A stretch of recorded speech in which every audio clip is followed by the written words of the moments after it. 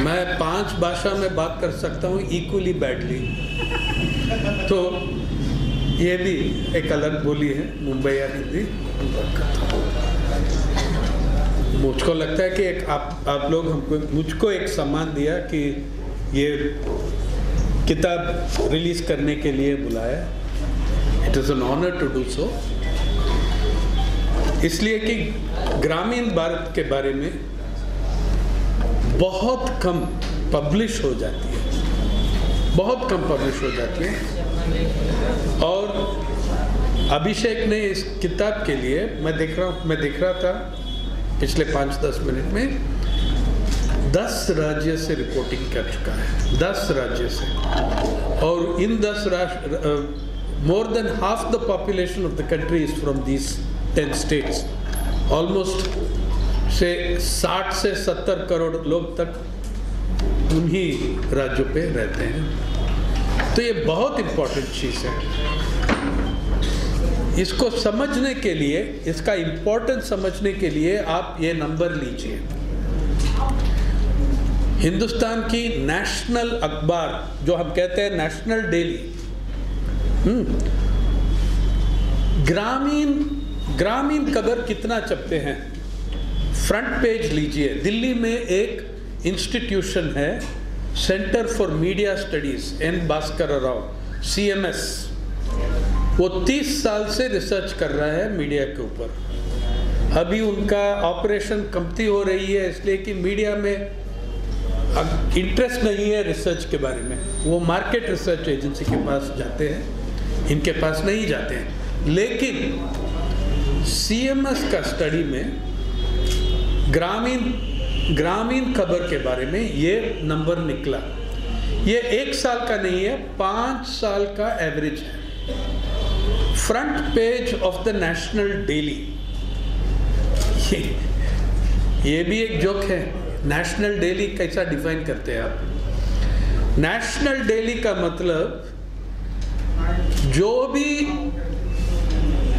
जो भी अखबार जो भी अखबार जिसका एक एडिशन दिल्ली से निकलता है, वो नेशनल डेली है। हो सकता है कि सिर्फ़ दिल्ली में एक एडिशन है, लेकिन वो नेशनल डेली है, बाकी सब एंटी नेशनल है। तो ये ये है नेशनल डेली लेकिन मतलब Hindu Times of India Indian Express Pioneer ये सब नेशनल डेली है। और हिंदी का अखबार भी जो दिल्ली से एक एडिशन निकलती है। तो नेशनल डेली का फ्रंट पेज में फ्रंट पेज में पाँच साल का एवरेज ग्रामीण कबर का स्पेस है ज़ीरो शून्य दशमलव छ नौ percent zero point six nine sorry 0.67 percent शून्य शून्य दशमलव छः सात परसेंट ग्रामीण खबर है। ग्रामीण इलाका में जनसंख्या क्या है? 69 परसेंट दो सेंसस के प्रकार। 69 परसेंट ऑफ़ द पॉपुलेशन उनको आप देते हैं शून्य दशमलव छ सात परसेंट फ्रंट पेज पे। अंदर वाला पेज में क्या होती है? नेशनल डेलीज में। अच्छा अगर अगर जनसंख्या का 69 परसेंट आप 0.67 परसेंट देते हैं, बाकी पेज किस पे जाते हैं? फ्रंट पेज पे 67 percent sixty six to 67 percent Nai Delhi. New Delhi takes 66 to 67 percent और ये शून्य दशमलव छः सात परसेंट ग्रामीण के, मैं कह रहा हूँ आपको वो एग्जैजरेशन है। उतना भी नहीं है। क्यों? क्यों दिख रहा है कि zero point six seven percent इसलिए कि पाँच साल का एवरेज है। उस पाँच साल में एक साल चुनाव का साल है। तो चुनाव के साल में बढ़ जाती है, आठ दस परसेंट तक जाती है। अगर चुनाव का साल निकल जाते हैं आप, निकल उससे निकालते हैं तो 0.67 टू ज़ीरो परसेंट होती है। Zero point two four percent होती है। उतना उतना ही गिर जाती है। तो इसलिए इतना कमती रहती है serious reporting news anything on ग्रामीण भारत फिर अभिषेक जैसा किया पत्रकार जो करता है वो बिना इंसेंटिव से किया। उसका आइडियलिज्म और पैशन से कर चुका है। हुँ? आपको कुछ प्रमोशन नहीं मिलने वाला है, कुछ रिकग्निशन नहीं मिलने वाला है by doing this this kind of journalism जब मैंने किताब लिखा, वो जमाना बदल रहा था तो एक रिकग्निशन मिला। तब भी मैं एक बात बताता हूँ आपको वो किताब का नाम एवरीबडी लव्स गुड ड्राउट मेरा मैंने नहीं दिया वो नाम। वो एक बिहार का एक उस जमाने में झारखंड साउथ बिहार था ना दक्षिण बिहार में एक छोटा सा ए, किसान मार्जिनल पेजेंट ने हमको ये नाम कैसा दिया उसने? मेरे साथ गया पलामू डाल्टनगंज लातेहार में हम पहुँचा एक दिन। तो मैंने सोचा, सरकार ऑफ़िस में जाएँगे, जो सर्कल ऑफ़िस है, ये सब है। उसका नाम था किसान का नाम था राम लखन पता नहीं वो फॉल्स नाम था अंडरग्राउंड आदमी था, पता नहीं। वो मेरे साथ गया। तो सरकार ऑफ़िस में एक आदमी नहीं बैठा था, एक भी नहीं था। सर्कल ऑफ़िस, ऑफिसर नहीं है बीडीओ नहीं है कुछ नहीं था वहाँ। हम्म, और वहाँ बैठे बीडीओ नहीं कहते हैं वो उसको बीटीडीओ कहते हैं। ब्लॉक द डेवलपमेंट ऑफिसर जब तक उसका 25 परसेंट नहीं मिलता है तो कोई काम नहीं चलता है। तो मैंने पूछा राम लखन ये लोग सब कहाँ गए यार? वीडियो नहीं है सर्कल ऑफिसर नहीं है चपड़ासी भी नहीं है कोई नहीं है। वो उसने बोला लोग सब तीसरी फ़सल लेने के लिए गए। तो I felt a little stupid मैं तो हिस्ट्री का स्टूडेंट हूँ। ये तीसरी फ़सल क्या चीज़ है? तो मैंने कहा, देखो यार, ये मैं जानता हूँ रबी, मैं जानता हूँ खरीफ डेढ़ सौ साल पहले एक तीसरी फ़सल था जाहिद या कुछ नाम था हाँ जाहिद जाहिद। तो अभी है नहीं तो ये क्या तीसरा फ़सल के बारे में आप बात कर रहे हैं? उसने कहा अच्छा आप जानते नहीं, यहाँ का तीसरी फ़सल है ड्राउट रिलीफ बस, उसको पकड़ने के लिए सब लोग गए, तीसरी फ़सल। ऐसा नाम आया था, और उसने कहा कि यहाँ तो हम लोग सब अकाल से बहुत पसंद करते हैं, बड़े लोग। इसलिए कि इतना पैसा कमाते हैं बड़े लोग। जो विक्टम है, वो अलग है, वो सफ़र करते हैं। ऐसा ही है। वो भी नाम एक ग्रामीण रहवासी से हम किताब का नाम लिया। हम बहुत पसंद करते हैं अकाल यहाँ उसने कहा। तो देखिए ये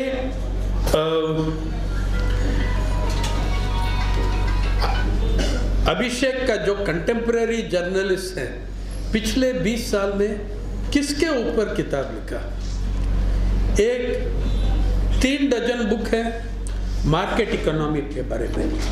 इंडिया ट्रांसफॉर्मेटरी प्रोग्रेस ये सब कॉलमिस्ट हाँ, दिल्ली में बैठे वाले हैं सब। तो कितने किताब निकला ऐसा ग्रामीण भारत के बारे में? एक निकला मैं कह सकता हूँ आपको जयदीप हर्डिकर का चेस्ड बाय डेवलपमेंट बढ़िया किताब फैंटास्टिक बुक है। तो अभी हिंदी में अभिषेक का किताब।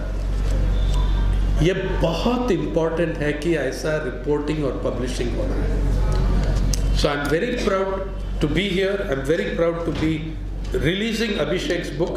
I congratulate him on the book and I ask all of you to talk about this book, to see that it is studied, read. We need to have it translated into English and other languages. और जो आपने यहाँ लिखा कितनी आज़ाद है ग्रामीण पत्रकारों की कलम देखिए अभी पिछले छह साल में तीन चार रिपोर्ट निकला इसके बारे में मतलब पूरा सिर्फ़ ग्रामीण पत्रकार का नहीं, लेकिन पूरा देश का what is the status and problem of journalist उस तीन चार रिपोर्ट में एक report centre for protection of journalist USA ने निकला और उसमें मैंने फॉरवर्ड लिखा इंट्रोडक्शन मैंने लिखा। तो अलग अलग नंबर आती हैं, इसलिए कि अलग अलग क्राइटेरिया निकालते हैं कि जर्नलिस्ट पे असॉल्ट कौन है जर्नलिस्ट कौन है? स्ट्रिंगर कौन है? यू नो इसमें बहुत सारा डिस्कशन होती है। लेकिन जिस हर रिपोर्ट में एक कॉमन फैक्टर आप देख सकते हैं। आज से तीन साल पहले तक, तीन चार साल पहले तक 1991 सो गिना हुआ है। पत्रकारों पे असॉल्ट। जितने लोग मरे हैं, उसमें सौ परसेंट कस्बाइया और कस्बाई और ग्रामीण पत्रकार हैं। बड़े शहर से एलिट जर्नलिस्ट से एक भी नहीं था जब तक 2014 तक 13 14 तक। 100 before 2013 14 100 percent of attacks of fatal attacks जहाँ आदमी मर जाते हैं, वो स्मॉल टाउन जर्नलिस्ट एंड ग्रामीण पत्रकार। इसलिए कि इन लोग का कुछ प्रोटेक्शन नहीं है। और और अगर इनको कुछ होता है तो उनका दिल्ली का जो ओनर है, वो डिजोन करते हैं। ये हमारा आदमी नहीं है। हम्म। और और जर्नलिज्म में भी कुछ मीडिया में भी बहुत कुछ बदलाव आया पिछले 20 साल में बैठे बैठिए हम्म।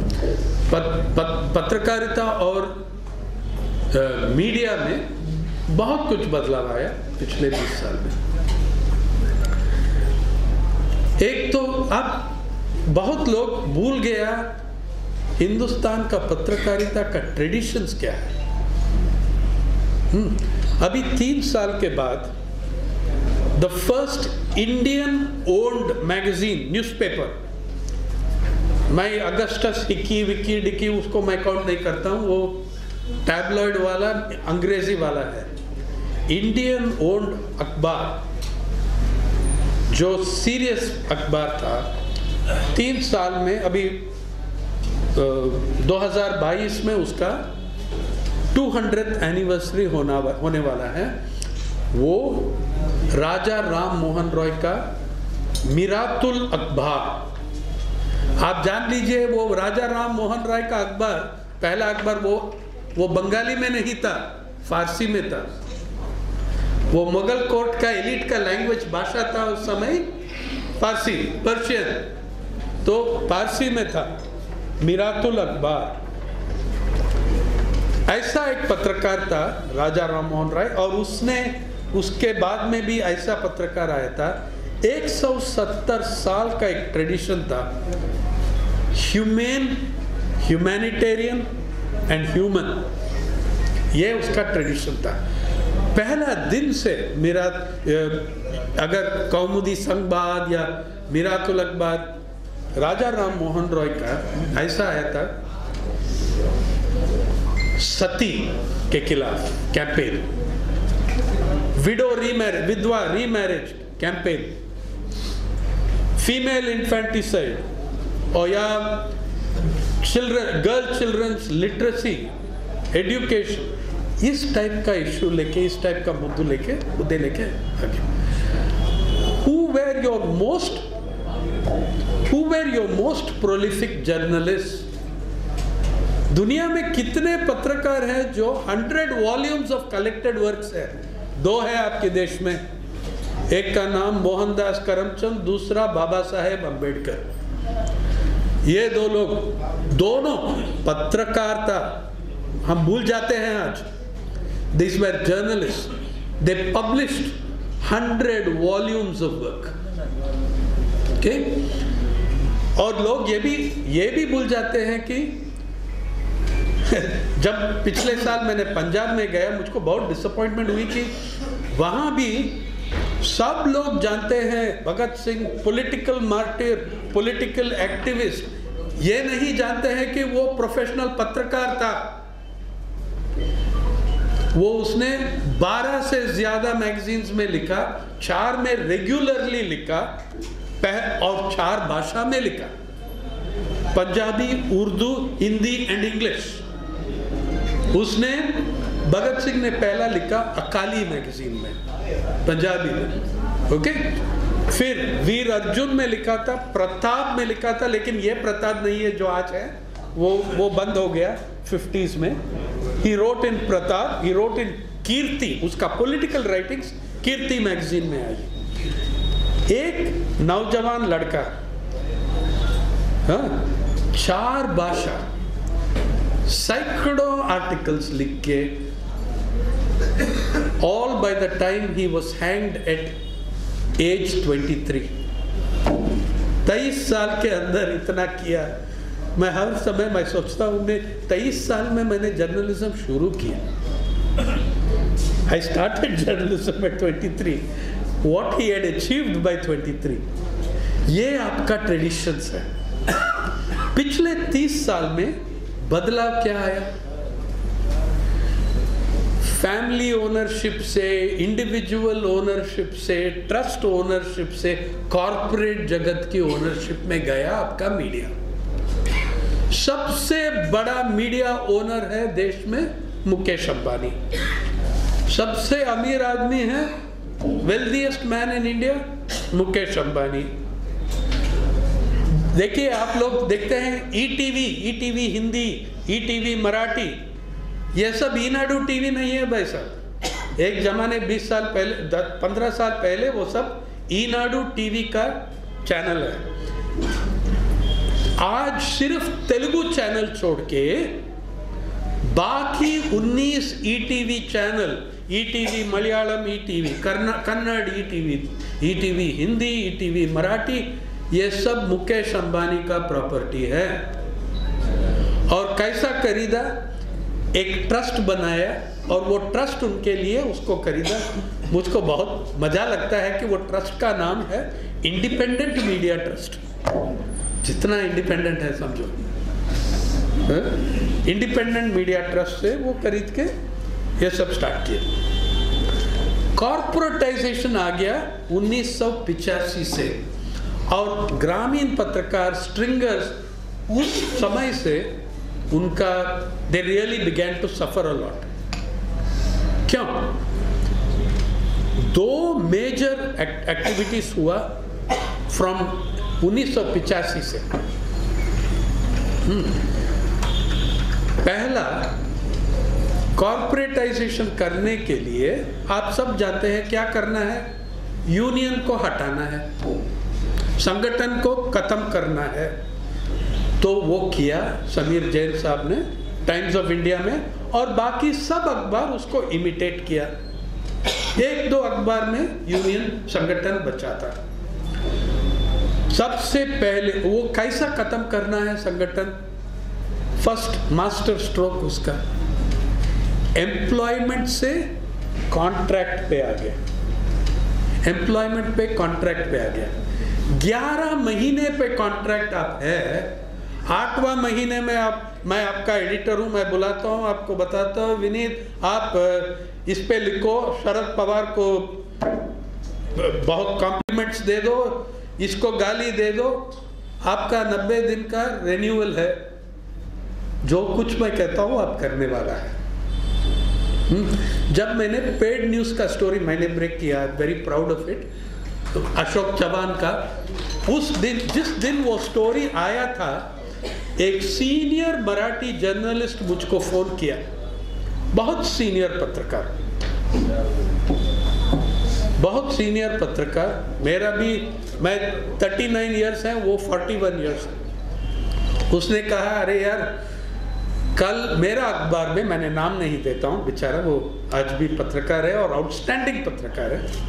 उसने कहा, यार, मेरा पत्रकार में कल एक फ्रंट पेज आ रहा है, बड़ा कैबिनेट मिनिस्टर के बारे में, उसका इंटरव्यू और कुछ स्टेटमेंट्स है। मेरा नाम पे आ रहा है, खुद उनका खुद खुद उनका नाम पे आ रहा, वो पत्रकार का नाम में आ रहा था और उसने कहा, वो सौ परसेंट पेड न्यूज़ है और मेरा नाम के अंदर, मेरा नाम के नीचे छाप रहा है। तो मैंने पूछा, क्या हुआ? हम्म तो बड़े भाई, क्या हुआ? आपका नाम पे आ रहा है पेड न्यूज़ उसने कहा, देखो यार, तीस साल पहले हम सब वर्किंग जर्नलिस्ट एक्ट के अंदर था। We were all under working journalist act आज आप, आज भी वर्किंग जर्नलिस्ट एक्ट में है। मैं हिंदू में काम कर रहा था उस समय। वो उस समय वर्किंग जर्नलिस्ट एक्ट था। लेकिन मेरा अखबार में उसने कहा, मेरा अखबार में ग्यारह महीना कॉन्ट्रैक्ट है। कल मुझको एडिटर ने, संपादक ने बुलाया उनकी कैबिन में। और वो कैबिन में कौन बैठा था? Brand brand manager CFO chief financial officer CEO of the company और एडिटर हम्म, और उसने कहा देखो एक बड़ा चीज़ आया हमारे पास। आप ये बड़ा कैबिनेट मिनिस्टर है तो बड़ा पत्रकार का नाम भी होना चाहिए उस पर तो आप थोड़ा देखो इम्प्रूव भी करो। आप अच्छा लिखता है। तो उसने पूछा, साहब, ये कहाँ से आई? हाँ वो तो पीआर एजेंसी से आया है ना। पब्लिक रिलेशंस एजेंसी से आया था। आप थोड़ा इम्प्रूव करो, सुधार करो उसको। तो मैंने क्या कहा, आप क्या बोला? तो उसने कहा, हमको साइना, क्या बोलूँ? ग्यारह महीना कॉन्ट्रैक्ट पे हूँ। अभी आठ महीना हो गया मेरा एक बेटे कॉलेज छोड़ के अभी नौकरी ढूंढ रहा है। मेरा माताजी हॉस्पिटल में है आईसीयू में। हम्म दो लड़के, दो दो दो बच्चे हैं जो स्कूल छोड़ के कॉलेज में जा रहा है, प्राइवेट कॉलेज में। और घर का तीस हज़ार रुपया ई एम आई मैं दे रहा हूँ हर महीने। क्या मैं हीरो बन जाऊँ क्या? तो मैंने what could I say I could not tell him to be hero and lose his job कभी कभी आदमी वो भी करते हैं हीरो बन के घर में बैठते हैं, बेरोजगारी में। तो ये है कॉरपोरेटाइजेशन में पूरा ट्रांसफॉर्मेशन हो गया मीडिया में।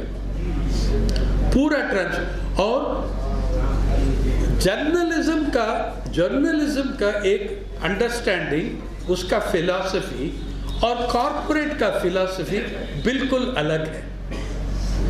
जब पत्रकार जाते हैं, वो देखते हैं स्टोरी क्या है? व्हाट इज़ द स्टोरी खबर क्या है इसमें? ये कैसा बोलूँ? इसका एविडेंस कैसा करूँ? वो पत्रकार का थिंकिंग है, उसका मानसिकता वो है। कॉरपोरेट का आइडियल है कॉरपोरेट का जो इंपॉर्टेंट थिंकिंग है वो रेवेन्यू और प्रॉफिट उनका इंटरेस्ट नहीं है कि अभिषेक ने इतना बढ़िया स्टोरी किया बिहार से या उत्तराखंड से। उसको ये देखते हैं, वो ये देखते हैं कि अभिषेक स्टोरी में मुझको कुछ रेवेन्यू मिलेगा या नहीं। रेवेन्यू नहीं मिलने वाला है तो मैं नहीं चाहता हूँ ये। I will cover you if I get money out of covering you वो कैबिनेट मिनिस्टर से पता नहीं, दो, एक करोड़ का रुपया डील था, उसमें बड़ा interview three thousand words four thousand words election time चुनाव टाइम था। ओके सो ये है कॉरपोरेट कॉरपोरेट फिलॉसफी कॉरपोरेट मानसिकता और पत्रकार का मानसिकता अलग अलग है। तो मैं कह रहा हूँ कि 1990 से मीडिया और जर्नलिज्म दो अलग एंटिटी बन गई।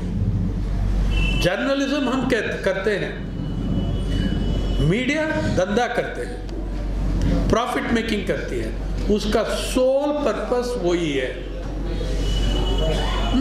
That is what has happened to journalism journalism has been reduced to a revenue stream we have reduced journalism to a revenue stream Samir Jain ने मुझको कहा, Sainath ji journalism is a business like any other business ठीक है? Journalism is a business like any other business मैं मानता नहीं। It is not a product like any other product अरे, आपका टूथपेस्ट छह महीने आप बेच सकते हैं, वही टूथपेस्ट कल का अखबार आज बेच सकते हैं आप? Media is a business TV is a business newspaper is a business journalism ऐसा बिज़नेस नहीं है, वो एक कॉलिंग है। It is it is from our heart and soul that we do journalism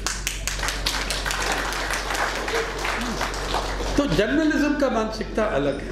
And that's why I am saying buy this book read this book तो attacks on journalism ग्रामीण पत्रकार और ये कस्बाई का पत्रकार 90 परसेंट अटैक 100 परसेंट अटैक्स 1913 तक उन्हीं के ऊपर हुआ।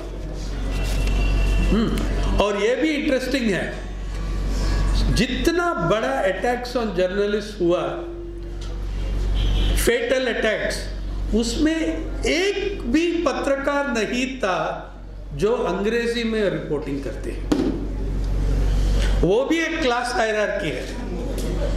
हाँ? सब सब हिंदुस्तानी भाषियों में जो रिपोर्टर है अटैक्स उसके ऊपर है। वो ग्राउंड लेवल पे है, वो ग्रास रूट्स पे है। All the attacks the six huge num 27 deaths in 15 years committee for protection of journalist ने जो रिपोर्ट निकाला, मैंने उसका इंट्रोडक्शन लिखा है। मैंने I went through list after list I went through list after list एक भी अंग्रेज़ी वाला पत्रकार नहीं था। एक था जो अंग्रेज़ी में भी रिपोर्टिंग किया। दूरदर्शन श्रीनगर का एक रिपोर्टर वो दोनों हिंदी और अंग्रेज़ी में किया था। तो द रिस्क टू अब, अभी क्यों? और क्यों बढ़ गई? हाँ इस देश में कॉरपोरेट जगत का पावर माइनिंग ऑपरेशंस में एससीजेड लैंड एक्विजिशन में माइनिंग ऑपरेशन में एससीजेड लैंड एक्विजिशन में ये सब कौन कवर करते हैं। ग्रामीण पत्रकार कवर करते हैं। हम्म, जब बड़ा एक्सप्लोजन हो जाती है पॉस्को में डॉस्को में कहीं फिर नगरी पत्रकार वहाँ आ जाते हैं तीन घंटे के लिए फ़ोटो लेते हैं कोट लेते हैं और भाग जाते हैं। हम्म, तो और अगर ऐसा ही कवर हुआ पॉस्को आज तक कोई भी एक बड़ा अखबार ये रिपोर्ट नहीं किया कि पॉस्को का जो दो दो ग्राम दो दो गाँव रेजिस्ट किया उसका वो संघर्ष में जीत गया। They have won the struggle they have thrown POSCO out of Odisha अभी और क्या कर रहे हैं? जिंडाल को ला रहे हैं वहाँ। जहाँ पॉस्को फेल हुआ जिंडाल को ला रहा है। सिर्फ़ ग्रामीण पत्रकार रिपोर्ट कर रहा है इसको, और कस्बाई पत्रकार। और क्यों? जिंडाल एक बड़ा एडवर्टाइजर है भैया। पॉस्को एक बड़ा एडवर्टाइजर था एनरॉन एक बड़ा एडवर्टाइजर था जिंडाल एक बड़ा एडवर्टाइजर था। कौन उसके खिलाफ लिखते हैं? आपका पैसा बंद हो जाती है न्यूज़ अखबार में। तो ये है कॉर्पोरेटाइजेशन ऑफ़ द मीडिया में एक ट्रांसफॉर्मेशन आ गई, जहाँ खबर has become a function of revenue ये पहला इंपॉर्टेंट चीज़ है। दूसरा 2013-14 से कुछ एक बदलाव आया assault and attacks on journalist में। एलिट जर्नलिस्ट पे भी आ गया। और सीनियर पीपल जो शहर में रहने वाले हैं उनसे भी उनके ऊपर भी अटैक शुरू हो गया। सबसे पहला कौन था? नरेंद्र दाभोलकर पाँच साल के बाद है, उसका सॉल्व नहीं हुआ क्राइम सब जानते हैं सब जानते हैं नरेंद्र डाबोलकर सिर्फ़ एंटी सुपरस्टिशन एक्टिविस्ट नहीं था। 25 साल एक मैगजीन चलाया। He has carry run a magazine for 25 years organisation police ने उस केस लेके वीकन करके वीकन करके, इसलिए कि उस समय तक संघ परिवार का सरकार आ गई।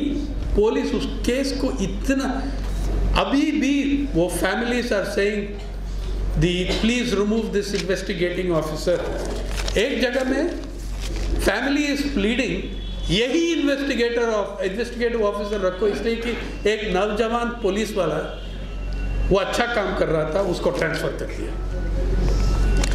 दूसरा, गोविंद पांसारे गोविंद पांसारे सीपीआई का लीडर था ट्रेड यूनियन लीडर था, लेकिन हिस्टोरियन और न्यूज़पेपर कॉलमिस्ट था रेगुलर तीस साल से ऊपर कॉलम लिखा हुआ। हम्म?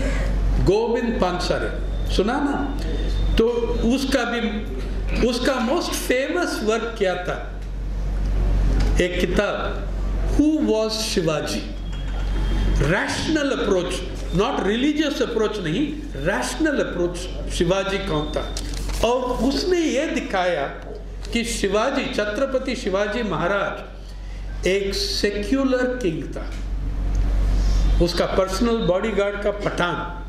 अफगान, पठान, मुस्लिम, मुसलमान। वो उसका बैटल मुगल एम्पायर के खिलाफ वो पॉलिटिकल बैटल था फॉर पावर और उसका पूरा लेटर से दिखाया पेजेंट्री की तरफ़ क्या एटीट्यूड है उसका। शिवाजी महाराज ने पता नहीं, दस पंद्रह चिट्ठी लिखा है उनकी ऑफिसर्स को। You will not loot the pageantry these are the people who are the basis of our samaj तो एक ब्रिलियंट बुक 1980-82 में लिखा था, Govind Pansare ji. Highest best seller था वो, शिवाजी कौन था, ये किताब। और गोविंद पांचारे 2005 से ज़्यादा अटैक किया ये फंडामेंटलिस्ट लोग पे। हर कॉलम जहाँ भी वो भाषण देते हैं या कॉलम लिखते हैं फंडामेंटलिस्ट लोग को अटैक किया और उसको असैसिनेट किया घर में, घर के सामने। और then professor M M Kalburgi academic intellectual public intellectual scholar और कॉलमिस्ट जर्नलिस्ट था। रेगुलर कॉलम कनाडा में। आर्टिकल्स लिखता है रेगुलरली उसका भी, वो भी रहा, ये चार के, ये इन लोग के बीच में कॉमन क्या था? Rationalist anti superstition rational thinking ये उनका चौथा high profile elite working journalist Gauri Lankesh. Gauri Lankesh को जब मारा, मैंने एक मर्डर्ड गौरी लंकेश लेकिन एक बात और देखिए, ये चारों का बीच में कॉमन क्या फैक्टर है? All were writing in Indian languages not one Gauri Lankesh भी उसका मेन लैंग्वेज था कन्नड़ अंग्रेज़ी नहीं। The attacks on journalists in this country have been on journalists writing in Indian languages. उनका वो एलिट स्टेटस नहीं है। उनका एक एलिट स्टेटस नहीं है, जो हिंदुस्तानी भाषाएँ में लिखते हैं। उनका क्लास भी अलग होते हैं ज़्यादा ज़्यादा से ज़्यादा। उसका जो प्रोटेक्शन होते हैं, जब हम यू नो शहर में है या अपर कास्ट अपर क्लास से आते हैं, उसका एक इंश्योरेंस है। लेकिन पिछले पाँच साल में वो इंश्योरेंस का प्रीमियम भी डबल हो गया। सबको मार रहा है, सबको मार रहा है। और मैं ये भी कहता हूँ कि देखिए, जो सबसे बड़ा इवेंट्स हुआ पिछले तीन तीन, दो साल में, सबसे बड़ा इवेंट्स जो हुआ मेन स्ट्रीम प्रेस जो नगरी प्रेस कह जाती है, नगरी प्रेस कह सकते हैं कॉरपोरेट मीडिया कह सकते हैं आप, मैं कॉरपोरेट मीडिया बोलता हूँ उसको। पिछले दो साल में जो इतना बड़ा इवेंट्स हुआ तीन साल कह सकते हैं डीमोनेटाइजेशन और जीएसटी उसका ज़्यादा से ज़्यादा असर कहाँ पड़ा? ग्रामीण भारत में। हा? और आप देखिए, मैं बड़े कॉरपोरेट मीडिया में कितना आर्टिकल है, ग्रामीण भारत में क्या इंपैक्ट हुआ डीमोनेटाइजेशन अभी जायसवाल जी बैठा है यहाँ जिस, जिसके ऊपर एफआईआर किया, ये मिड डे मील्स का जायसवाल जी वहाँ बैठा है, जहाँ आपको congratulation I salute you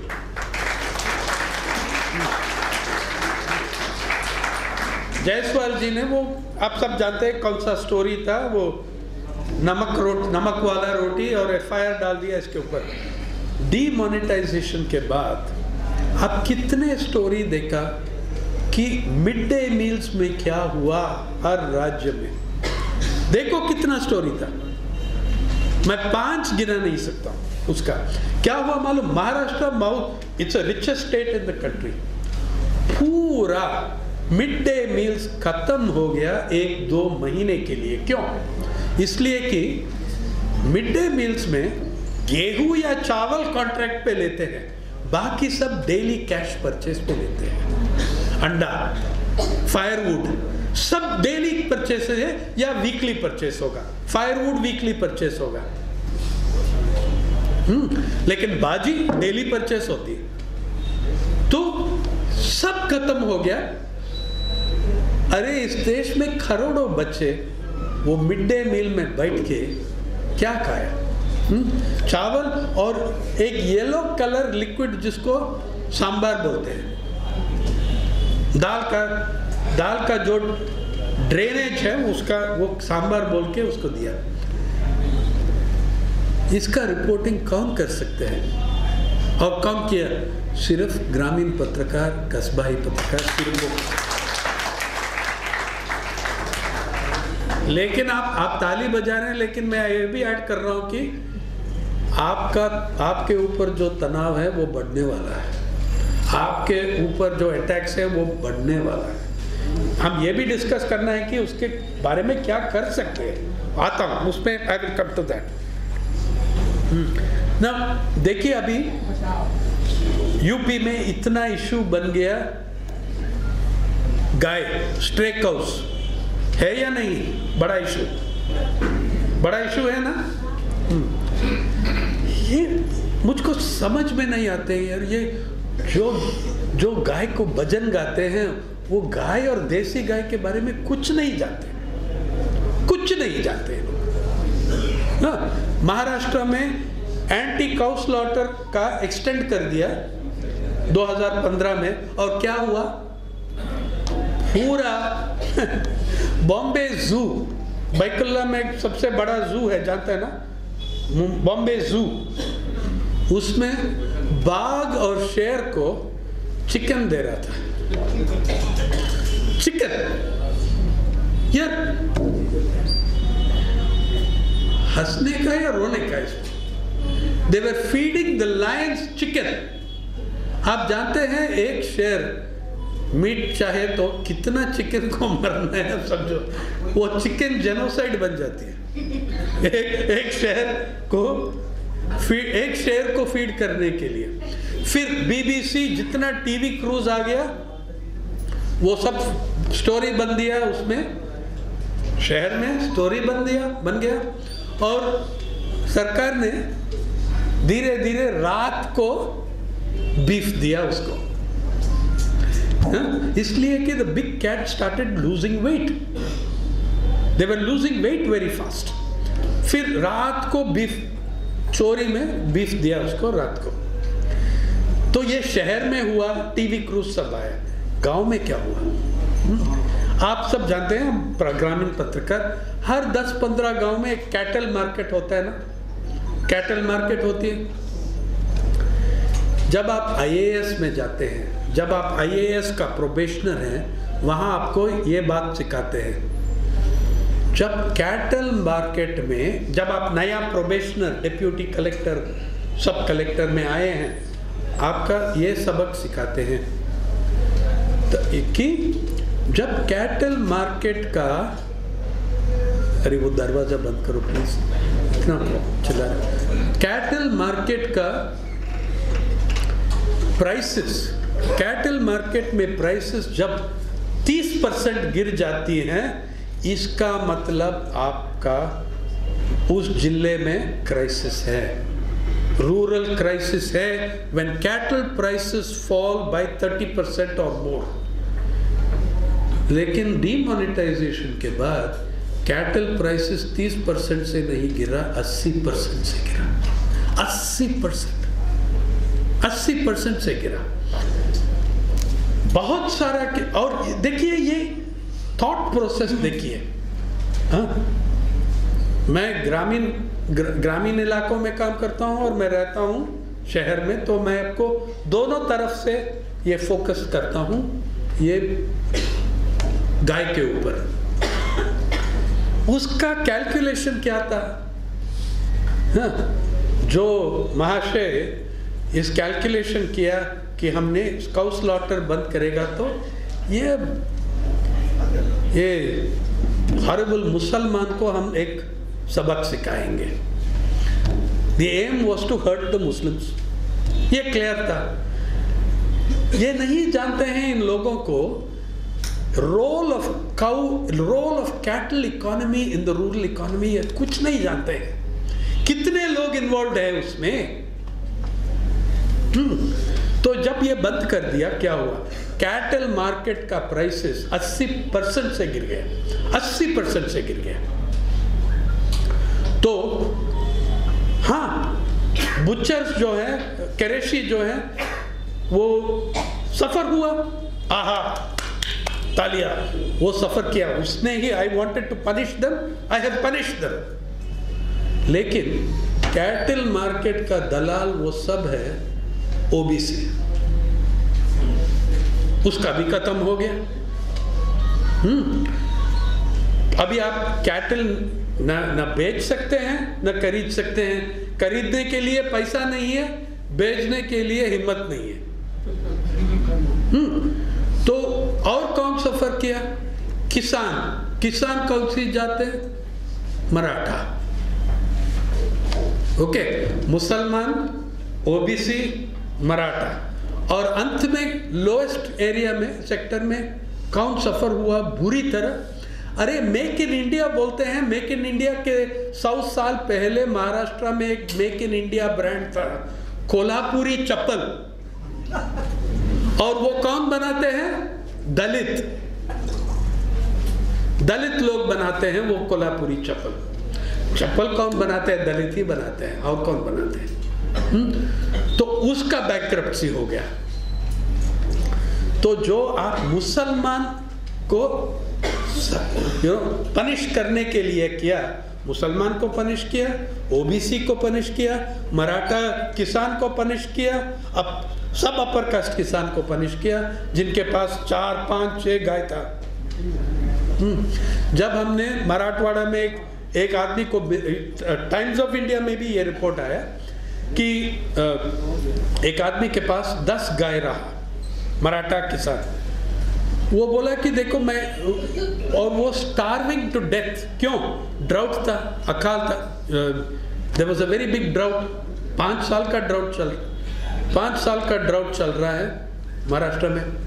तो वो, उसने, हम he said I cannot feed my family अरे फैमिली को खाना नहीं दे सकता हूँ, इन दस गाय को कैसा देता हूँ? तो रिपोर्टर ने उसे पूछा, आप क्यों इसको मार्केट में लेके नहीं जाएँगे?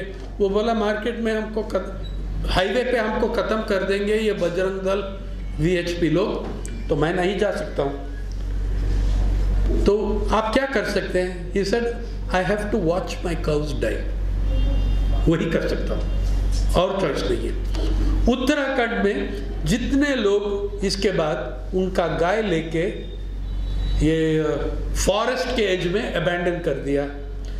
आप लेपर्ड और शेर को आप अच्छा फ्री मीट दे रहे हैं, लोग भूखे मर रहे हैं।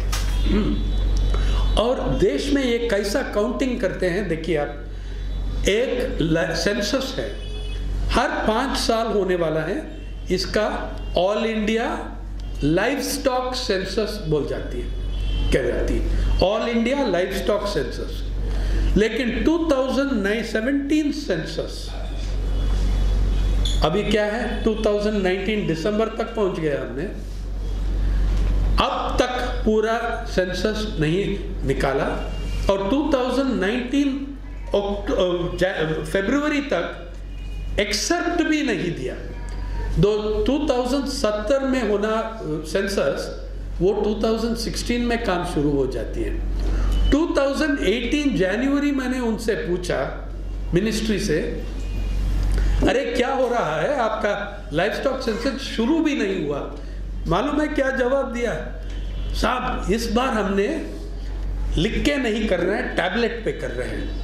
तो हज़ारों सरकारी एम्प्लॉय को टैबलेट कैसा यूज़ करना है, वो ट्रेनिंग चल रहा है।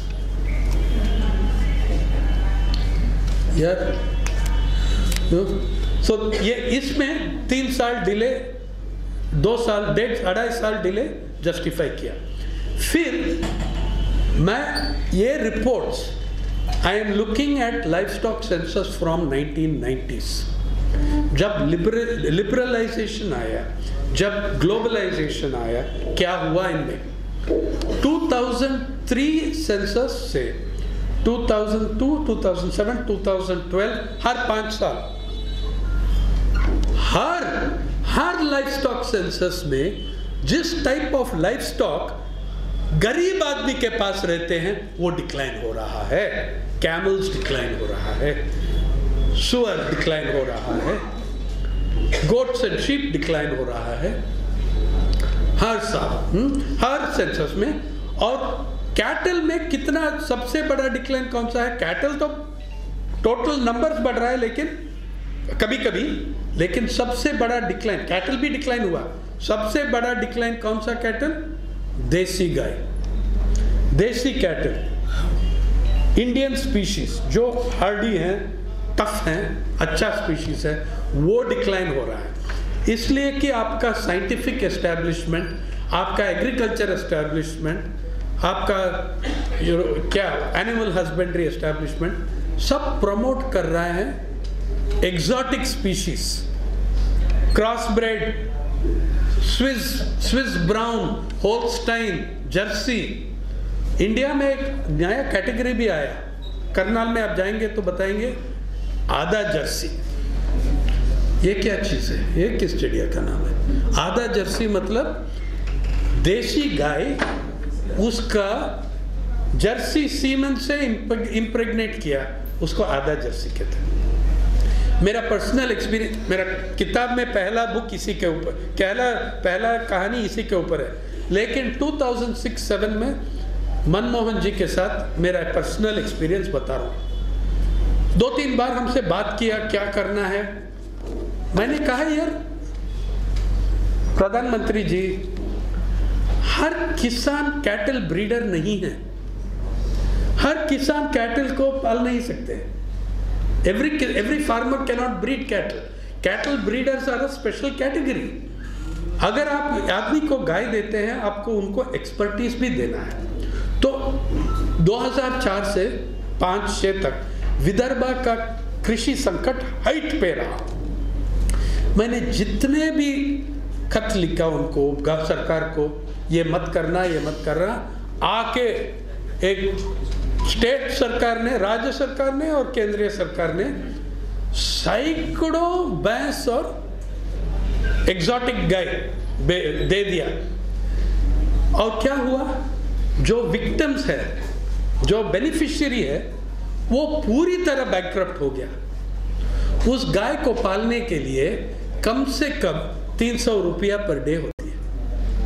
और हर हफ़्ते दो बार आप वेटरनरी डॉक्टर को बुलाते हैं, उसका टेम्परेचर वो बेचारा यूरोप का टेम्परेचर पे, उसका इवोल्यूशन हुआ यूरोप के टेम्परेचर में। आप यवतमाल में रखिए हाँ सैतालीस डिग्री सेल्सियस में, वो ऐसा ही कड़ा है, शिवरिंग। ठीक है? तो एक गाँव में मैंने स्टडी किया। छत्तीस छत्तीस एग्जॉटिक गाय दिया। पहले छह महीने में बीस मर गया। हम्म, और जो फैमिलीज़ उसको पाल रहे हैं वो बैंक हो गया। एक कमलाबाई गुड़े विधवा थी फार्मर सुइसाइड का उसका हस्बैंड पति ने सुइसाइड किया। तो मैंने तीन दिन देखा लोनसावली गाँव वर्धा में एक बूढ़ी औरत एक बड़ा भैंस लेके, करनाल का बड़ा भैंस लेके हर स्ट्रीट में जा रही है। तो मैंने बोला, कमला जी, गुड़े भाई गुड़े भाई कमला भाई, आपने क्या कर रहे हैं इस भैंस के साथ? इस भैंस के साथ आप क्या कर रहे हैं? साहब आई जो लेता है उसको लेने दे। तो ऐसे इतना बढ़िया भैंस है। वो बोला, साहब, साहेब, ये भैंस नहीं है, ये बूथ है। मेरा पूरा परिवार से ज़्यादा खाती है ये। अगर उनका मेंटेनेंस कॉस्ट मिनिमम अढ़ाई सौ रुपया है, अरे यार, अगर आप किसान को अढ़ाई सौ रुपया डेली देते हैं, कोई अग्रेरियन क्राइसिस नहीं है। If a farmer gets 250 rupees a day कृषि संकट ही खत्म।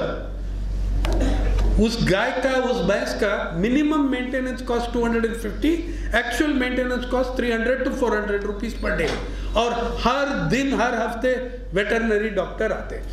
एक और एक और आदमी मेरा सबसे बड़ा एक्सपीरियंस इसमें।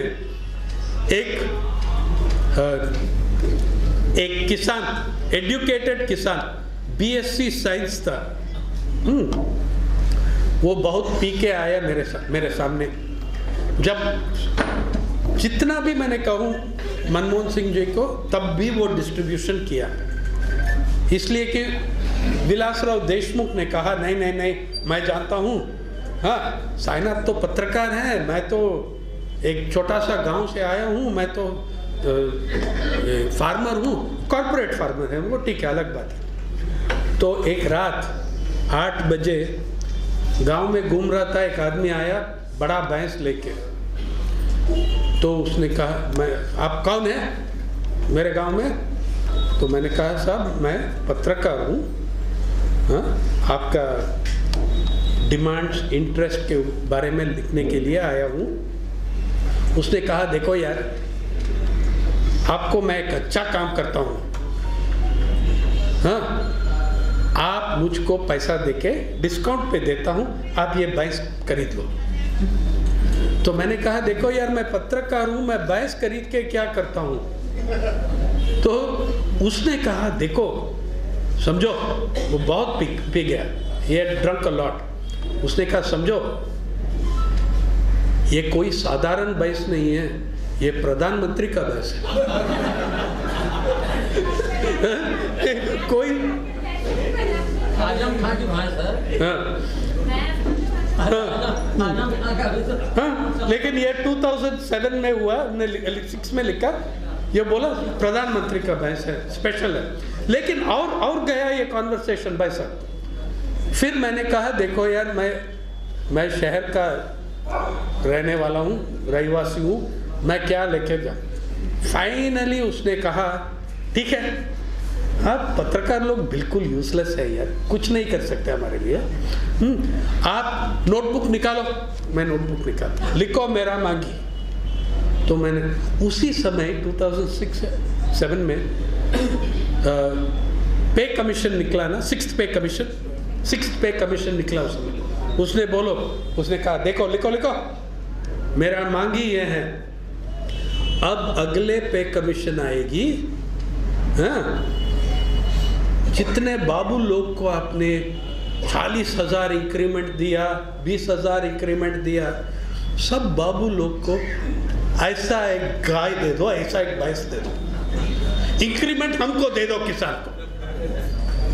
क्या डिमांड है? बढ़िया है।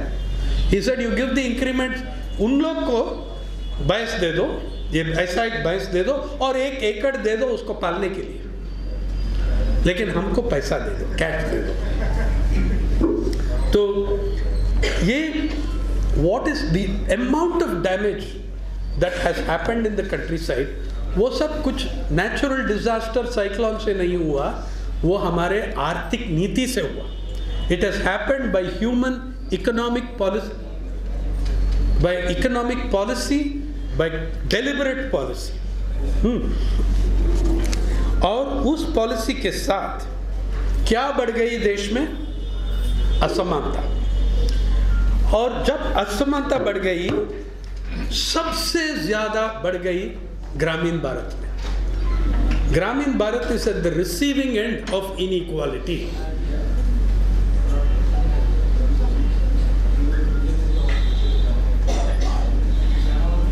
ग्रामीण Bharat is at the receiving end of inequality आपको दो नंबर देता हूँ। 1991 ये नया आर्थिक नीति के पहले इस देश में एक भी डॉलर अरबपति नहीं रहा। एक भी नहीं था। ज़ीरो शून्य उसका नंबर। फिर फोर्ब्स बिलियनर्स का फोर्ब्स मैगजीन आप लोग कुछ लोग जानते हैं इसके बारे में। वो कैप, ग्लोबल कैपिटलिज्म का वो पुजारी है। तो तो उसका आ, 2000 साल 2000 में जो 1991 में ज़ीरो था शून्य था अरबपति डॉलर अरबपति साल 2000 में आठ आठ। Modest progress. फिर 2012 में तिरपन डॉलर अरबपति। तिरपन डॉलर अरबपति और 2018 में 121 डॉलर अरबपति इस देश में, और वो आपका जनसंख्या क्या है? 130 करोड़ से ज़्यादा। उस 130 करोड़ जनसंख्या से 121 व्यक्ति 121 आदमी मतलब ज़्यादा से ज़्यादा आदमी, चार तीन चार महिला है उसमें और वो 121 व्यक्ति, उनका धन दौलत का वैल्यू क्या है? हिंदुस्तान का जीडीपी का 22 परसेंट। एक सौ इक्कीस व्यक्ति their wealth is equivalent to 22 percent of your gross domestic product no society in the world can sustain that kind of inequality और आपका उसका इम्पैक्ट आप देख सकते हैं ग्रामीण भारत पे। 2011 का सेंसस में दिखाया कि सबसे बड़ा माइग्रेशन हुआ इस देश की इतिहास में। जो सेंसस पार्टीशन के बाद आया, उसमें भी इतना नहीं दिखता है कि माइग्रेशन गाँव गाँव गाँव छोड़ के लोग भाग रहे हैं। कुछ नौकरी के लिए, कुछ काम के लिए, कुछ भी लाइवलीहुड के लिए ढूंढ रहा है। They are going out in search of work that is not there आपने एक जॉब नहीं क्रिएट किया। हाँ जो किसान जो किसान वाराणसी जिला छोड़ के जाते हैं, जब एग्रीकल्चर कोलैप्स हो जाते हैं, वो लखनऊ में जाके क्या उसका इंफोसिस में काम के, मिलेगा क्या? हाँ मिल सकते हैं। कैंटीन में चाय बांटने के लिए वो काम मिल सकते हैं। और कुछ काम नहीं मिलेगा। तो पूरा कोलैप्स हो गया इस इकोनॉमिक पॉलिसी से और असमानता से। और फार्मर का जनसंख्या बहुत कम हो गया। 1991 सेंसस और 2011 सेंसस में आप देखिए, किसान का जनसंख्या डेढ़ सौ lakh hundred fifteen million hundred and fifty lakh से गिर गया देश में। हम्म और वो कहाँ गए? कहाँ गए वो डेढ़ सौ लाख किसान? दूसरा कॉलम में आप देख सकते हैं। जैसा किसान का कॉलम कोलैप्स हो रहा है, खेत मजदूर का कॉलम बढ़ रहा है।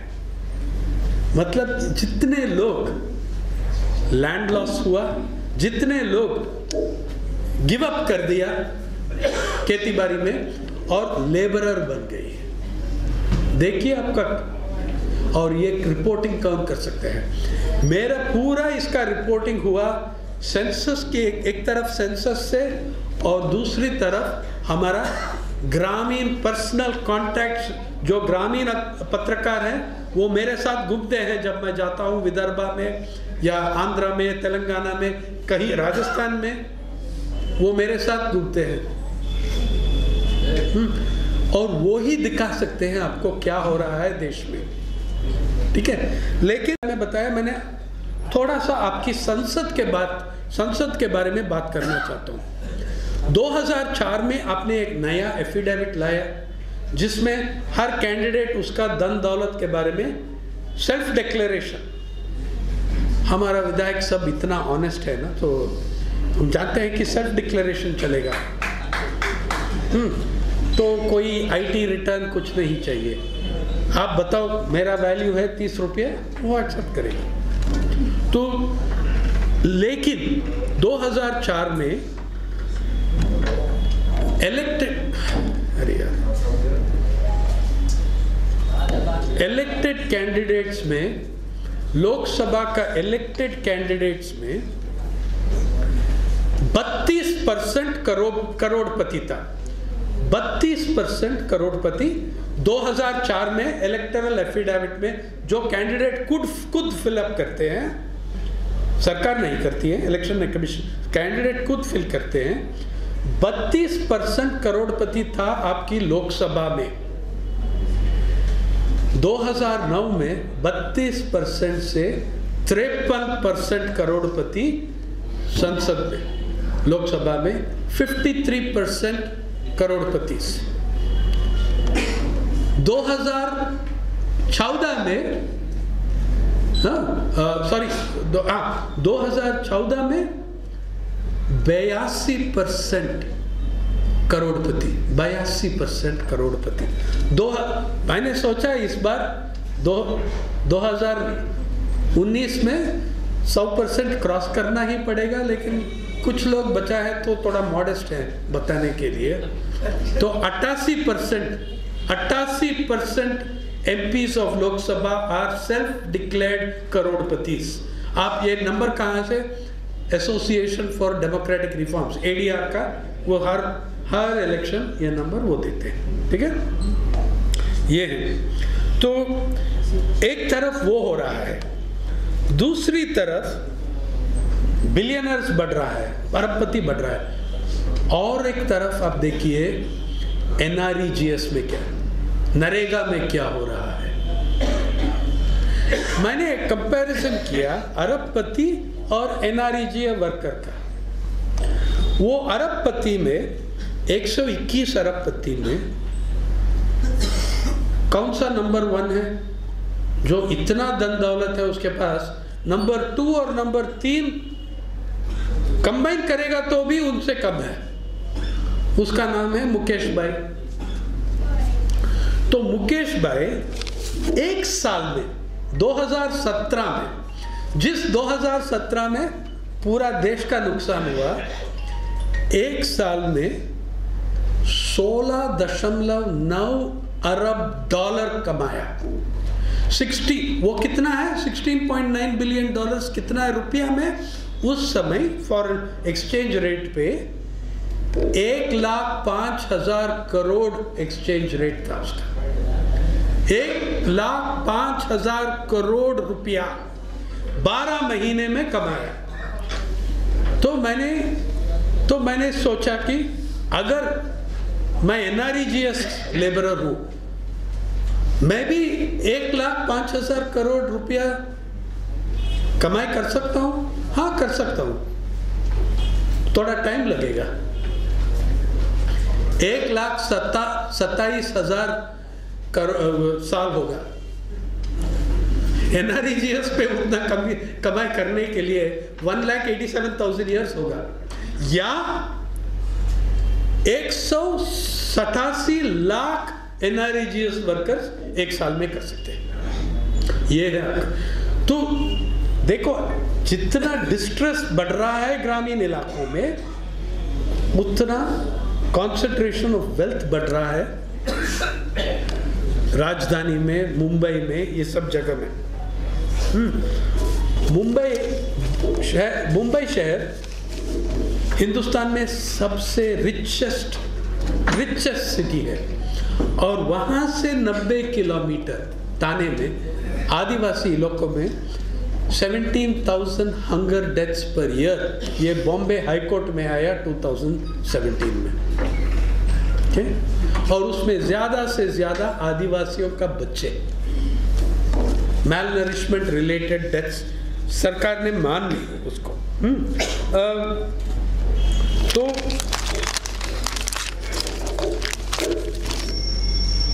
जर्नलिस्ट के ऊपर, अभी जैसा ये असमानता बढ़ रही है, जैसा खराब हो रहा है, जैसा खराब हो रहा है ग्रामीण इलाकों का लिविंग स्टैंडर्ड्स जैसा किसान ड्रॉप आउट होके लेबरर बन रहा है इसका रिपोर्टिंग एक बड़ा चैलेंज है और सिर्फ़ ग्रामीण पत्रकार कर सकते हैं, लेकिन जब आप करेंगे, दो प्रॉब्लम है, एक तो प्लेटफॉर्म का प्रॉब्लम है, कौन पब्लिश करेगा?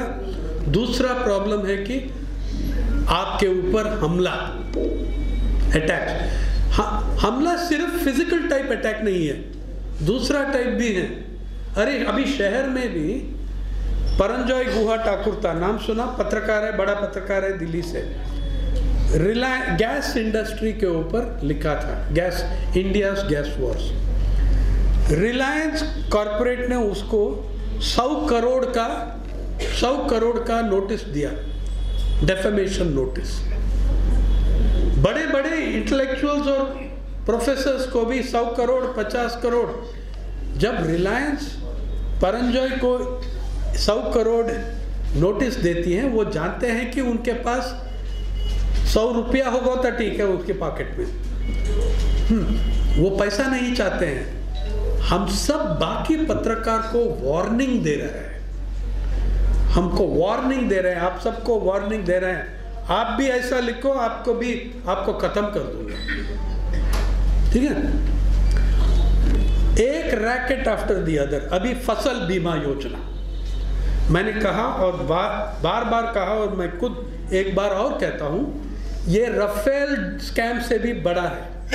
रफेल का कितना है? 58,000 करोड़ हाँ एक अठावन हज़ार करोड़ है डील अब तक पब्लिक मनी इसमें है छियासी हज़ार करोड़ और वो पैसा किसान के लिए नहीं जा रही है भाई साहब। हाँ कॉरपोरेट के जा रही है इंश्योरेंस कंपनीज़ के हाथ में जा रहे हैं। और आरटीआई किया आप सब जानते हैं, पत्रकार लोग जानते हैं ट्रिब्यून ट्रिब्यून अखबार, चंडीगढ़ में आप सब जानते हैं, बड़ा अखबार है। उसने आरटीआई किया। और क्या दिख रहा है उसमें? पहला 24 महीने में जब बयालीस हज़ार करोड़ खर्चा हुआ, सेंटर और स्टेट का, दोनों का, इस पे पहला 24 महीने में तेरह कॉरपोरेट कंपनीज़ तेरह कॉरपोरेशन इंश्योरेंस कंपनीज़ उसने पंद्रह हज़ार नौ सौ पिचानवे करोड़ प्रॉफिट बनाया। मतलब हर दिन का एवरेज प्रॉफिट 21 करोड़। ये आरटीआई फिगर सरकार डिनाई नहीं करती है। They are not denying it और ये और ये फ़सल बीमा योजना इतना खराब स्कीम है कौन सा राज्य पहले विच स्टेट फ़र्स्ट सेड हमको ये नहीं चाहिए हम दूसरा प्रोग्राम कहते हैं, जुलाई इस साल में, मोदी जी का Gujarat. Opting out of the scheme they have requested centre we don't we want to have our own scheme अगर मोदी जी का होम स्टेट बता रहा है कि हम ये नहीं कर सकते हैं तो आप समझो, दूसरों का हालत समझो। हम्म। तो ये big problems are coming up and जो बड़े इंटेलेक्चुअल हैं जो ये सब लिखते हैं कॉरपोरेट लोग के लिए। हम्म, एक आ, एक देखिए आप आप देखिए पिछले पाँच साल में 2014 में जब ये सरकार आए पद पे उसका प्रॉमिस क्या था? 12 महीने के अंदर हम स्वामीनाथन कमीशन तरफ़ की तरफ़ एमएसपी देंगे। Cost of production plus 50 percent. वो 2014 में प्रॉमिस किया। 12 महीने के अंदर सुप्रीम कोर्ट में एफिडेविट डाल दिया। हम ये नहीं कर सकते unfeasible it will distort market prices 2016 में ऑनरेबल राधा मोहन सिंह उस समय का कृषि मंत्री बताया, हमने ऐसा एक वादा नहीं किया कभी। 2017 में बताया, अरे स्वामीनाथन सब छोड़ो एमपी का मॉडल देखो, हमारा शिवराज चौहान जी का मॉडल एक बड़ा इंटेलेक्चुअल इकोनॉमिस्ट उसके ऊपर एक बुक लिखा आईआईसी में इनॉग्रल हो रहा था, उसी दिन मांडसौर में पाँच किसान को मारा गया। उसका ये एमपी मॉडल मांडसौर में पाँच एमपी का। तो लेकिन ये एलिट इंटेलेक्चुअल्स जब आप कहा कि मैं पब्लिक इंटेलेक्चुअल हूँ मैं हमेशा सोचता हूँ कि ये पब्लिक इंटेलेक्चुअल का मतलब क्या है? बाकी सब प्राइवेट हो गया क्या? थिंक टैंक्स में दिल्ली का थिंक टैंक्स में वो सब प्राइवेट इंटेलेक्चुअल्स हैं। हमको अच्छा प्राइस नहीं मिला अब तक। हम्म, तो ये पब्लिक और प्राइवेट है। तो ये the elite intellectuals are writing for the corporates by the corporates of the corporates ये है उसका जन पत्रकारिता में अभी दो स्कूल है। सिर्फ़ दो स्कूल है पत्रकारिता में। एक स्कूल है पत्रकारिता। दूसरा स्कूल है स्टेनोग्राफी और आपका अखबार और चैनल में जो आ रही है, वो 80 परसेंट है स्टेनोग्राफी जो मालिक बोलते हैं, वो लिखते हैं। और जो लिखना है, वो नहीं कर सकते हैं, उसके पास ताकत नहीं है। मैं एक वेबसाइट चला रहा हूँ, people's archive of rural India, बताया जीतेन तेरह भाषा में लगाता हूँ। हमने मुझको बड़े बड़े पत्रकार फॉल्स नेम के अंदर हमको आर्टिकल्स दे रहे हैं, फिल्म्स दे रहे हैं टीवी से। क्यों? उनकी चैनल और उनके अखबार में वो पब्लिश होने वाला नहीं। मेरा सीनियर मेरा सीनियरिटी का लोग हमको दे रहा है। अरे मैंने उसको गया उसका कुछ स्टोरी करना था और आप, मैं जानता हूँ कि आप पारी में ये लेंगे। इसलिए कि वो भी एक जमाने में पत्रकारिता में आया अच्छा काम करने के लिए समाज को सुधार करने सुधारने के लिए। इसलिए हम सब आए हैं इसमें। पत्रकारिता में। आइडियलिज्म पे आए हैं। गांधी अंबेडकर भगत सिंह किस चीज़ पे आए हैं पत्रकारिता में? आइडियलिज्म में आए हैं सोशल चेंज पे आए हैं। इस पे आए हैं। अभी हम क्या कर सकते हैं जब ये और और मैं ये भी आपको कहना चाहता हूँ जो हम कृषि संकट कहते हैं वो आज कृषि संकट नहीं है। कृषि से बहुत आगे निकल गई है वो सम, समाज का संकट बन गई। पूरा एग्रेरियन समाज कलेप्स हो रहा है। सिर्फ़ किसान नहीं जो मिस्त्री जो मिस्त्री दो मो, जो मोची जो दर्जी ये सब कोलैप्स हो जाता है जब किसान कोलैप्स हो जाते हैं। तो अलाइड ऑक्यूपेशन सब कोलैप्स और मैं कहता हूँ कि सिर्फ़ समाज का संकट नहीं है। जो हम पहले कृषि संकट और फिर अग्रेरियन संकट कहा अभी और समाज का संकट कहा बन गई सभ्यता की संकट। हमारा सभ्यता किस पे बेस है? छोटा किसान, छोटा खेत मजदूर, इनके ऊपर बेस्ड है आपका सिविलाइजेशन वो भी खतरे में है। तो ये एक सिविलाइजेशनल क्राइसिस सभ्यता की संकट हो सकता है। और मैं आखिरी में ये भी कहता हूँ, एक क्राइसिस ये जितना तक जो आग हमने कृषि में जला दिया, अभी मिडिल क्लासेस तक पहुँच गई। तब भी हम आवाज़ नहीं उठाते हैं। और मैं कह रहा हूँ कि जब हम चुपचाप बैठे तीन लाख बीस हज़ार किसान आत्महत्या कर चुका है। और ये समा, क्या समाज है जो साइलेंटली एक्सेप्ट करते हैं? मैं कह रहा हूँ कि ये एक हमारा इंसानियत की संकट है। It is a crisis of our humanity in this crisis how do the ग्रामीण पत्रकार फ़ंक्शन मैं क्या एडवाइस दूँ आपको? You are the ones who are experiencing it मैं करते करते ग्रामीण पत्रकारिता करके भाग जाता हूँ मेरे घर में, शहर में। द डिफिकल्टी इज़ योर्स और एक बड़ा इश्यू आ रहा है, उसको वर्क करके then I will tell you what I think you should एक इश्यू जो आ रही है डिस्कशन नहीं हो रहा है, कुछ डिबेट नहीं हो रहा है, और रिपोर्टिंग जो हो रहा है प्रेस में हाँ वो अंटार्कटिका में कुछ हो रहा है ना, मेल्ट हो रहा है। और अमेजोन फॉरेस्ट में फायर्स हैं और ऑस्ट्रेलिया में फायर्स हैं।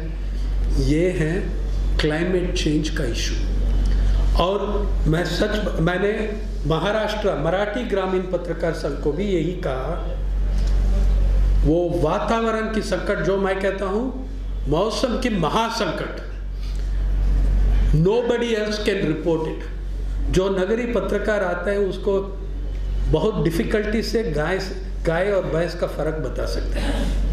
हम्म, और गेहूँ और चावल का फ़र्क बता सकते हैं। क्लाइमेट चेंज मैं देख रहा हूँ अभी हमारा PARI people's archive of rural India nationwide reporting project हम कर रहे हैं। भाई साहब हिंदी में है पूरा हमारा चौदह रिपोर्ट्स बीस रिपोर्ट्स तक कर रहे हैं। हर जोन से Arunachal eastern Himalayas Ladakh western Himalayas Tamil Nadu Rameswaram fishing community Maharashtra gaur buffalo और कोल्हापुर और Mumbai coastal road we are doing climate change reporting अलग टाइप अलग स्टाइल से, जो ग्रामीण पत्रकार कर सकते हैं। ये है, कुछ साइंटिस्ट का कमेंट नहीं है, या कलेक्टर का कमेंट नहीं है।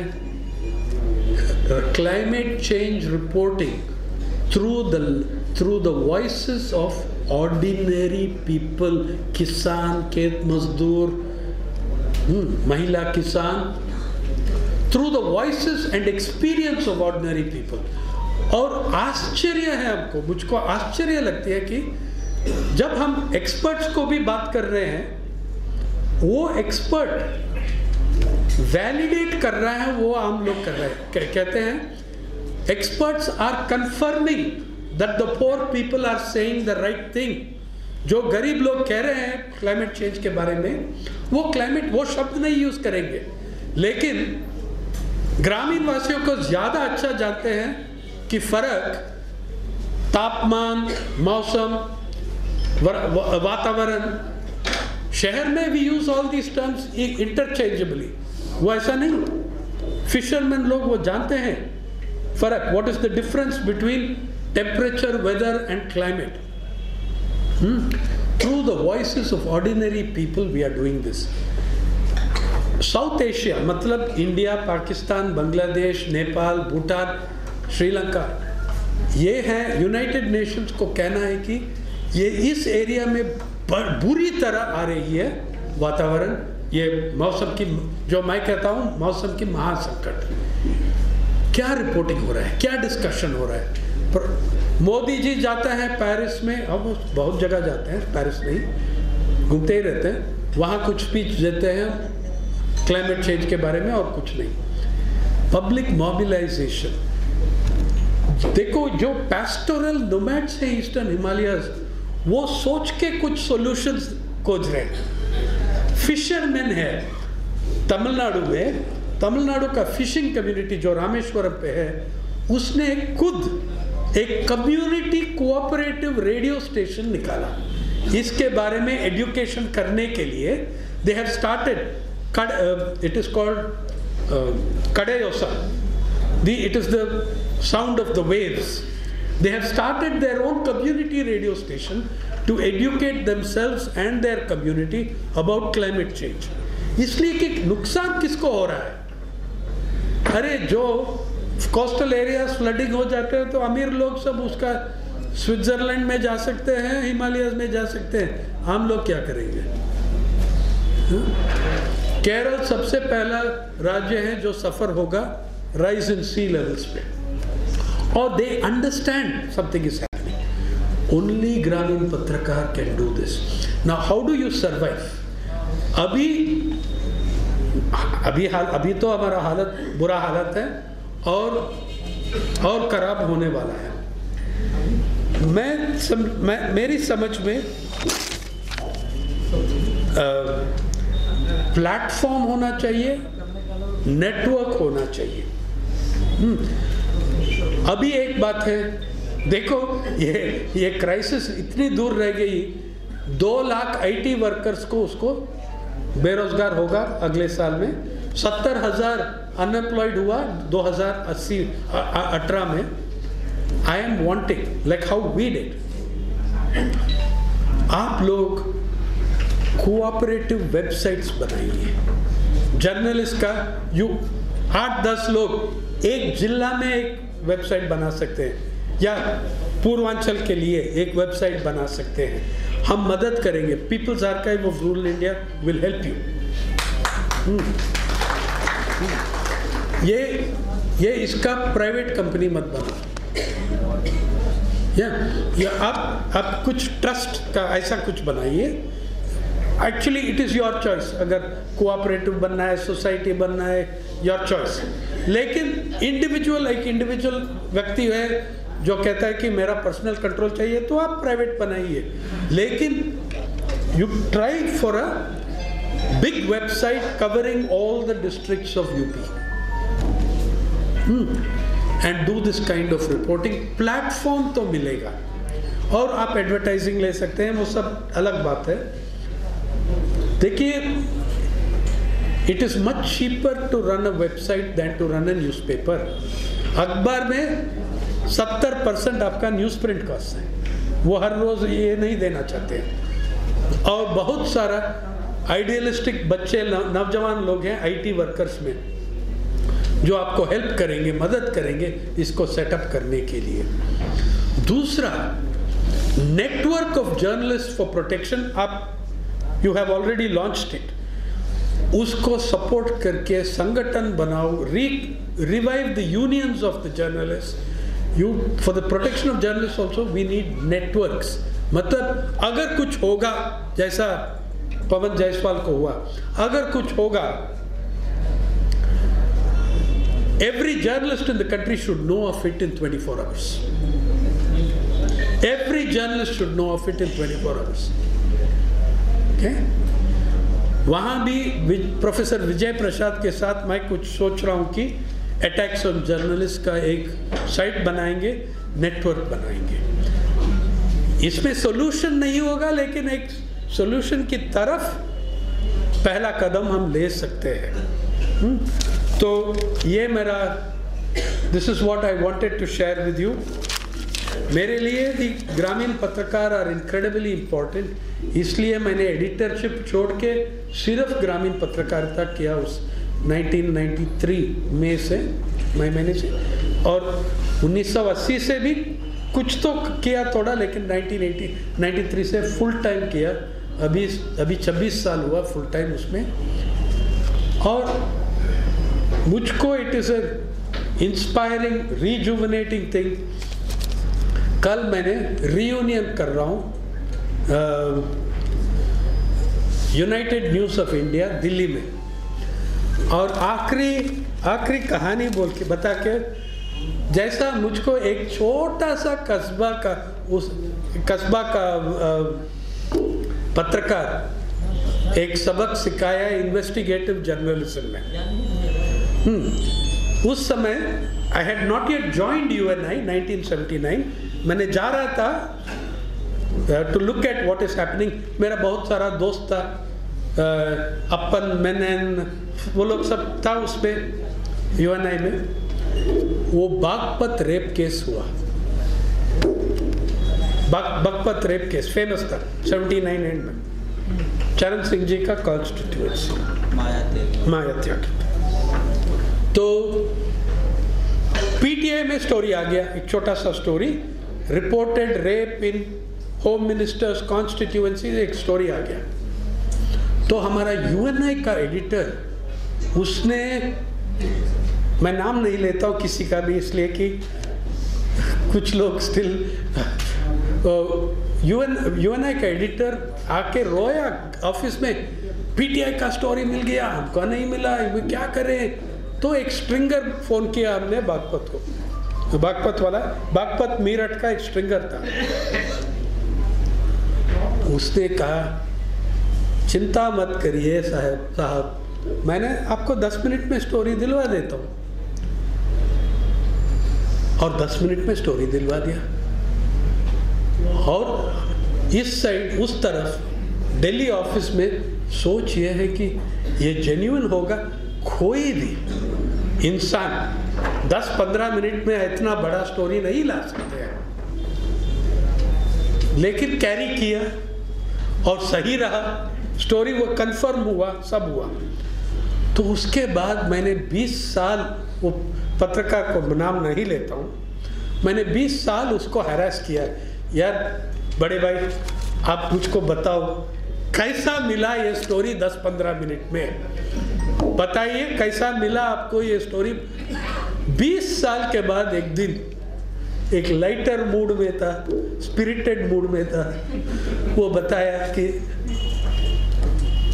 एक दोस्त उनका एक छोटा ऑफ़िस, वो पुलिस स्टेशन के ऑपोजिट है, ऊपर है। फ़र्स्ट फ्लोर पे पुलिस स्टेशन ग्राउंड फ्लोर पे ऑपोजिट में। इसने, यहाँ से वो स्टेशन हाउस ऑफिसर का फ़ोन फ़ोन करके जब वो फ़ोन उठाया, इसने बताया, आपका एक मिनट जान बचे है। मैं डीआईजी वेस्टर्न रेंज बात कर रहा हूँ। एक मिनट के अंदर बताओ क्या क्या हुआ? वो बेचारा सब बता दिया। और ये 20 साल के बाद हमको बताया। मैंने, अरे यार, हमको क्यों नहीं बताया? उसे कहा, यार, ये मेरठ है, ये बागपत है। अगर मेरा नाम पता लग जाएगा तो एक और रेप केस होगा। धन्यवाद।